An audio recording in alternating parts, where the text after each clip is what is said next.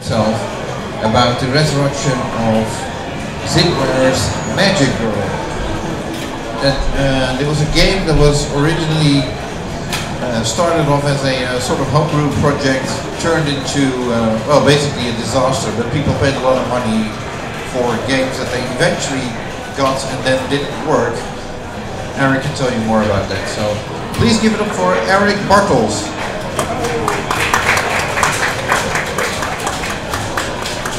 Hello, good afternoon. I was asked to do it in English because the German ladies and some others, even Jonathan doesn't understand Dutch.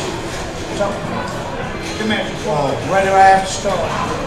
In 2019, someone came to us and said, I know Mexico and Holland, and uh, there's Rogier and he wanted to convince Max to buy it.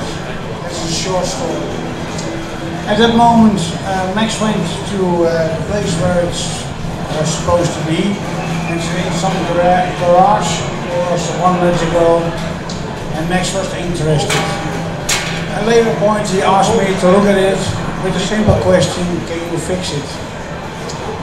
And I had five minutes to decide if it was uh, possible or not. I said yes.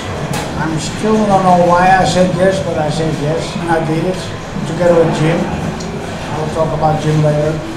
And so we found this in the garage, took it to our place, a secret attic, at some, some small workshop in Holland. And then we started to investigate what's wrong with this machine. And you could better ask yourself what's not wrong with the machine. Because you had wood, you had parts, there is Max. Yeah, big applause. He made it in time. Oh my God. And uh, then we started to investigate what, what's wrong with it. And we were very quickly convinced that it was just a box of parts. You could see in all machines that American Pinball just took all the parts, put it in a machine, tried to make it work, but it didn't succeed because the software was not was complete, but that's a difficult thing. The software guy who lived in England had to use Skype and Zoom to program the machine, but he didn't have an example. So he just programmed it as how he was told to do. And later we found, that we found out that the machine was nothing like what he had thought it was. So the software was not suitable for this playfield. And that's at that moment we, yeah, we, we, uh, we knew we had needed a software programmer. So that's why we also involved Jim. Jim was one of the original programmers of Zidware, who also got scammed. So at first he didn't want to help, but I convinced him and uh, he became one of my best friends. Here you see the Magic Girl. There is another photo of Jonathan my USB stick is broken, so I have not arrived the side art. This is why we fell in love with the machine. This is the right side of the cabinet, and it's even not the same as the left side. Each side is different. There's no pin here that has the same artwork quality. Well, another photo. Ah, nah, that's not interesting. Yeah, this one of the things we saw in Girl is uh, this is the second machine where John Popadiuk decided to use a moving tiger blade, a saw blade, saw blade. And also in Theatre of Magic there is one, not turning of course. And this machine also, not surprisingly, not turning, not moving, just steady. That's one of the things we said, we cannot let that happen. We mounted a small motor underneath the, the, the feet and now also this one is working, turning. If you uh, play the game and you hit the target HEX, then it will start moving slowly. The magic, ah, the magic. One of the original playfields, John uh, designed the Theatre of Magic. And in the prototype there is a post between the flippers, the Theatre of Magic post. But they took it out, it was too expensive. And he was so mad about it that in the Magic Girl we made a theater of magic post. But somebody complained about the name and they had to take it out. So now we have the magic post. It's, it's a nice detail. Ah, also a small, uh, we took some photos from Martin, so there is no, uh, no order. This is one of the things we changed. In the right and left in lane, there are letters, L-O-C-K. You must make those letters to get a lock for your ball, small ball. But you couldn't see the insert. So we made new plastics with small holes in it. Now you can see if it's lit or not. You can look through the plastics. Yeah, this is the artwork. Uh, one of the things is in the original uh, playfield there are translucent of white uh, clear plastics. The idea was to give every letter a different color and so it was also programmed. But in the later versions all playfields has dark blue inserts. So now you have the difference between light blue, dark blue, sun blue, or whatever blue. So we took out in the program the function of it because you cannot see it. Uh, next. No, it's not interesting. These are the ramps. You have uh, on the left and on the right side you have a curvy ramp. Uh, at first moment they had to take right ramp straight and on the end of it a magnet, John Ross magnet. And they wanted to keep the ball locked on the magnet. But we also tried it, but uh, the ramp became hot, started uh, dipping or reforming. So that's why we didn't go for a magnetism lock. And the way they are curved now, it was to get the, the speed of the ball was too high. And now it's moving slowly to the to the place where the rock has to be. Ah, yeah. Now you can see the curly ramp on the left and on the right, and the famous levitating magnet. This magnet was supposed to be, now, I don't know where John went to school, but his idea was that when the ball goes underneath, at the back there was a target on the playfield, and it will hit the target and roll back. And at that moment, the had to suck the ball out of the playfield. It's impossible. Whatever you do, whatever you're going to try, it's impossible. That's why American Pinball also decided to put a target underneath, under 45 degrees, so the ball could bounce up. But that, that even didn't work because uh, it only would bounce if it was steady and firm contact, not some moving target. So we put a little ramp underneath with lights behind it. So now the ball goes into the magnet and each fourth time that it's in the magnet it will start holding the ball like levitating. Maybe if John had more time he would bounce it up and down. That was his first idea. But yeah, it was too much work, it didn't happen. And he said, okay, it holds the ball. Uh, his the main goal for this machine was get it ready, get it working. We are not responsible for the design. Some design, some design things are not good. Uh, ball gets stuck. Even this little owl, you can order it on the internet. It's from some nature program, six dollars. He mounted it in here. Nobody knows why, but we have to keep it that way. It's a famous place to get the ball stuck if it comes after mini playfield. One of the also interesting thing is the, the spinner. Everybody's looking at this playfield, you can see the floating spinner. So a really nice concept. Designing, yeah, he can do that. He, he's a master in designing. He's not a master in uh, techniques. The screen, yes. One of the things what was uh, a real problem is that the screen is very big, but it was from the playing field until the, yeah, until this point. So we raised the playing field as high as possible to see the much as possible from the screen. And we changed the scores and other interesting things to the top of the screen so you could see what's happening. There was not uh, something they thought about. Ah, this is the mini playfield. On the internet there was a lot of discussions about how do I get on the internet. Some guy told someone that there has to be a diverter here at the back and then the ball could come from the back to the mini playfield. The mini playfield is an exact copy of the Twilight Zone version. With this one, it has an original exit from the left and the right. There was a big hole, and that didn't work also. So, first thing we had to solve is how do I get on the mini playfield? And it became that on the playfield there was uh, originally designed a hole, an eject hole, with a vertical up kicker. And if the ball could get in that hole, you had to be a golfer because it's impossible. The normal eject holes are always uh, in front of the target or something, but not in the middle of a playfield. So that's why they decided at American Pinball put an iron core in it and put a magnet around it like the ringmaster of Circus Voltaire. It would grab the ball. But as far as they got with designing it, they forgot to uh, put a switch in it.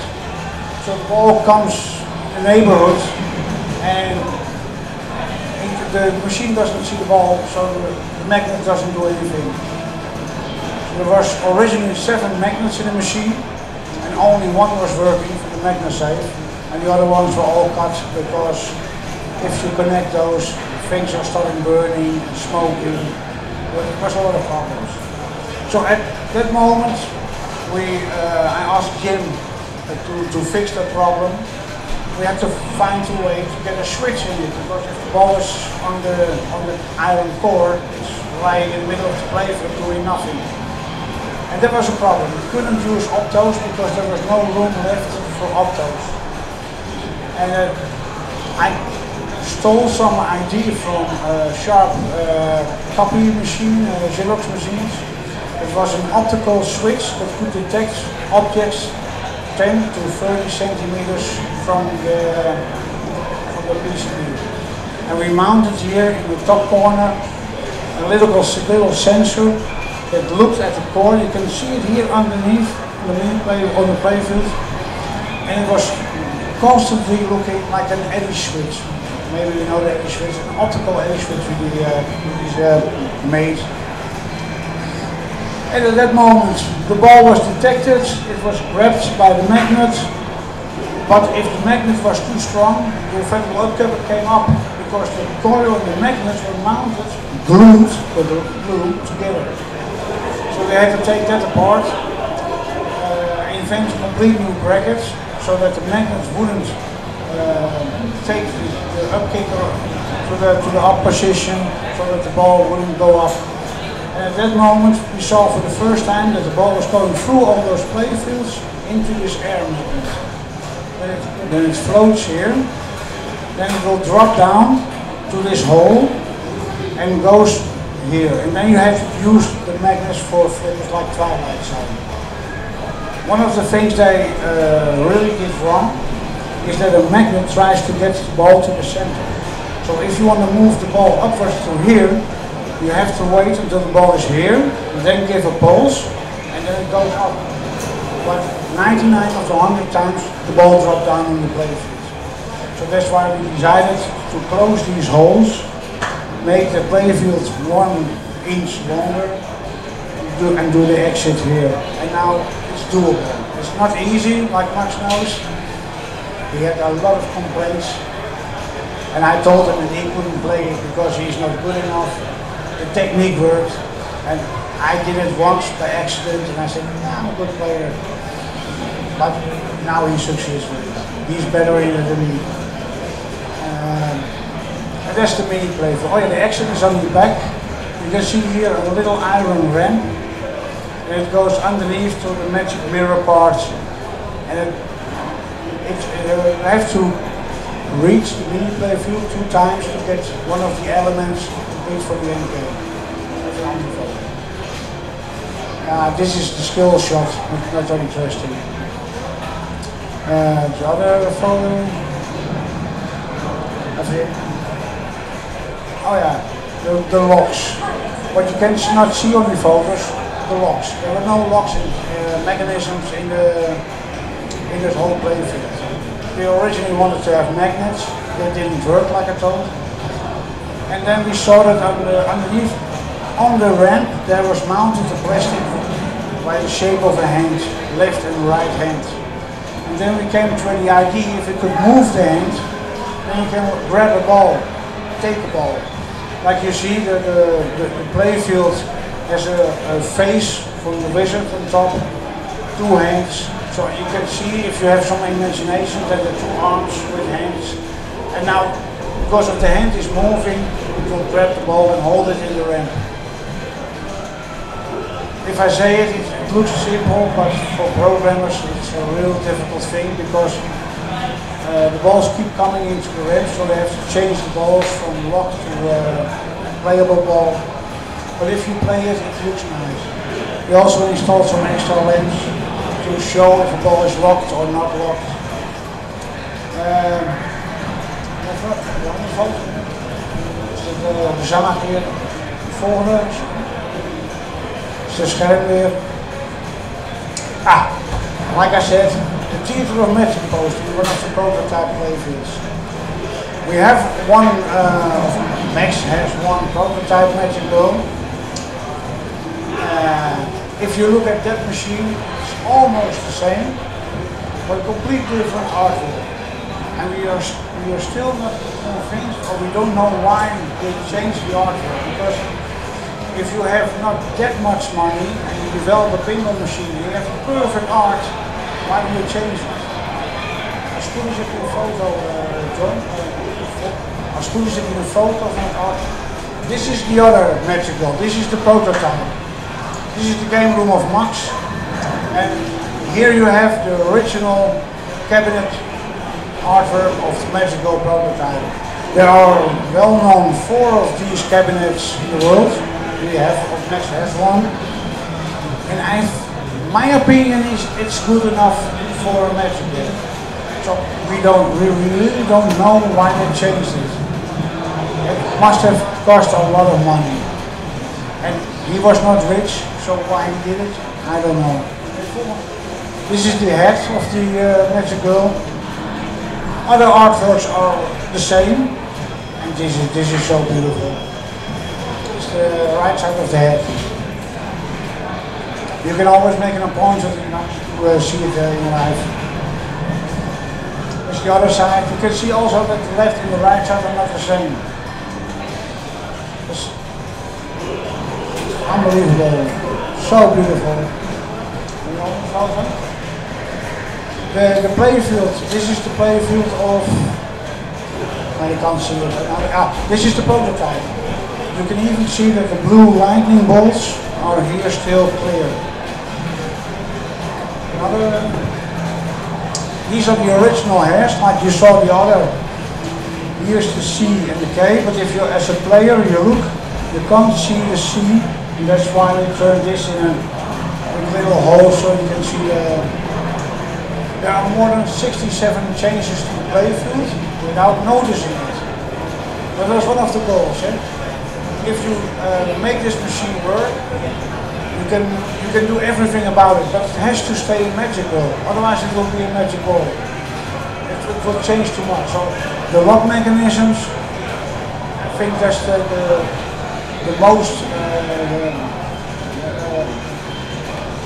that's the thing that has the most impact on the machine, and all the other things are really really small changes, but it made it work like those plastics of course, but also we didn't want to drill extra holes, didn't do, so it is completely the same as it was designed.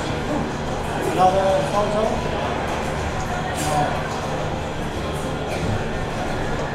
I think for this moment that's all the photos uh, there is. Someone have any questions? No? That's good. And if you want to play it, be my guest. If you want to have some explanation about the rules, you have to take an hour. There's more than seven pages of rules. Oh yeah, this is also nice. This black disc is duct tape. It's originally designed by Mr. John Duke himself, tape. They want to have a spinning disc as a, some kind of skill. At the right side you have the Magna-Save, like they stole from the Black Knight 2000. And on the left side they had a spinning disc that always turned uh, clockwise. And the idea was that the ball would grab the ball out of the drain. That didn't succeed. And we had another problem. On the left side of the cabinet, like on the right side, there are two flipper buttons. But on the left side there was no wiring. Just a phony button, didn't do anything, just was there. So what we did is put some wiring on it. I made a new PCB so you can change the direction of the, of the disc. So if you're convinced that it's going to get ball into the drain, you can change the direction and take it out of the drain. And we put some, uh, on the newer type, we have some new decals on it. And I copy it from the mini play filters of Circus Voltaire, so it will stay the same, uh, yeah, same idea, because black, yeah, duct tape, yeah, it's made by American Pinball. It doesn't look really good. On the right side, on the right machine, we have uh, one of the first. I put a white triangle on it. You, you could see it on the video for left and for right. And on the later models, uh, we have a small picture of the mini plant. Now that's the magic mirror where you come from the mini playfield, it drops down on this playfield, and you get battlefield to feed it. I didn't know there was a battlefield, but that's fun. the ramp diverter, yeah, another story. On top of the ramp, they made a coil, and it was supposed to divert the ball to the left or to the right ramp, but it didn't work. The ball always went underneath it. it didn't, the movement of the flap was too short, so the ball always got underneath.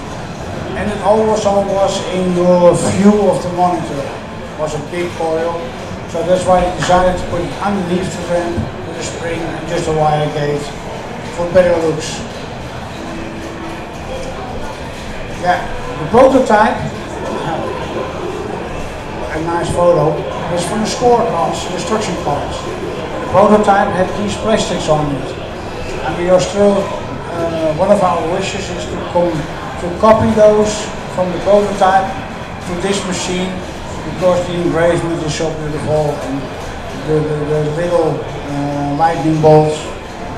But that's for later on because the machine is never finished I think. Can always go further, beautiful, better. This is done from the original machines like here, just an instruction card.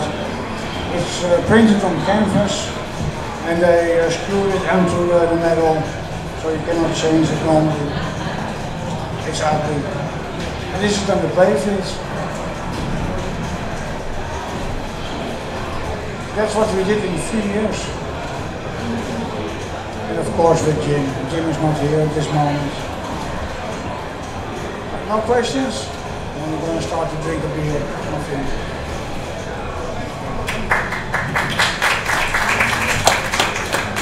Kan wel een biertje eruit.